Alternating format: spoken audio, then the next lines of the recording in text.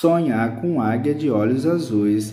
As águias são animais poderosos e inteligentes que sempre simbolizaram o foco e a espiritualidade. Se você sonhar com águia de olhos azuis, isso é um reflexo da sua própria personalidade no momento, bem como da maneira que você tem encarado a vida nos últimos meses.